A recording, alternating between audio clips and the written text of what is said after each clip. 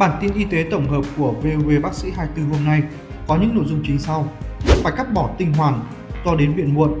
Nhiều chị em gặp biến chứng khi tân tràng của bé. Em bé có 24 ngón tay chân hiếm gặp, được phẫu thuật thành công. Mời các bạn đến với nội dung chi tiết.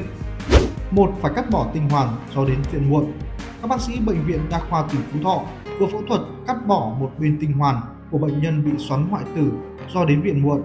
Trước đó, nam thanh niên 20 tuổi lên cơn đau biểu phải lan từ dưới bìu lên bụng. Qua thăm khám, các bác sĩ chẩn đoán xoắn tinh hoàn bên phải và chỉ định mổ cấp cứu. Trong quá trình phẫu thuật, các bác sĩ kiểm tra tinh hoàn phải tím đen hoại tử do xoắn thừng tinh hai vòng theo chiều kim đồng hồ. Nhận thấy tinh hoàn không hồi phục, bác sĩ phải tiến hành cắt bỏ tinh hoàn và cố định tinh hoàn bên trái. Xoắn tinh hoàn là tình trạng bệnh lý gây ra hiện tượng tắc nghẽn mạch máu, nuôi xuống tinh hoàn dẫn đến hoại tử tinh hoàn, ảnh hưởng nghiêm trọng đến chức năng sinh sản của nam giới. Vì vậy, khi nam giới có biểu hiện đau đột ngột ở vùng bìu, cần nhanh chóng đến các cơ sở y tế chuyên khoa để được thăm khám, chẩn đoán chính xác và điều trị kịp thời.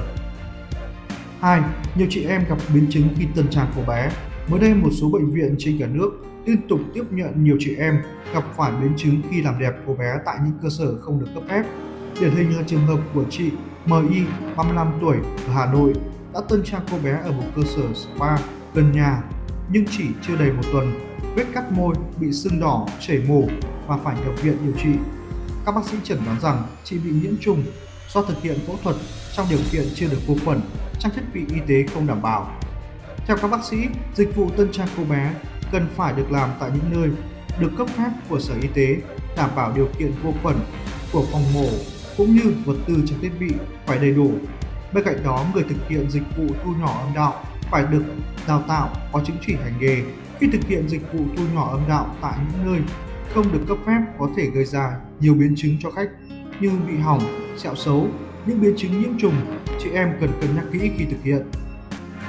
3. Em bé có 24 ngón tay chân hiếm gặp được phẫu thuật thành công. Bệnh viện Gia định Đà Nẵng thông tin, bệnh viện vừa phẫu thuật thành công một trường hợp em bé có dị tật 24 ngón tay chân hiếm gặp.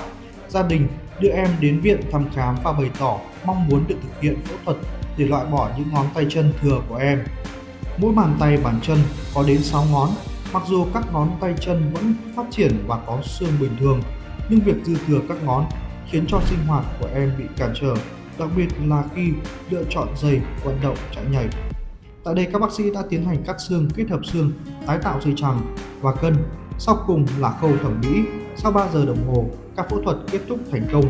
Em bé được chuyển sang phòng hậu phẫu. Sau phẫu thuật, hai tay có thể thực hiện các nhiệm vụ đơn giản như nắm đồ vật, không còn bị khó chịu và đau đớn. Được biết dị tật thừa ngón tay chân là một tình trạng bẩm sinh gặp phải ở khoảng từ 2 trên 1.000 trẻ sơ sinh thường cần phải phẫu thuật để điều trị.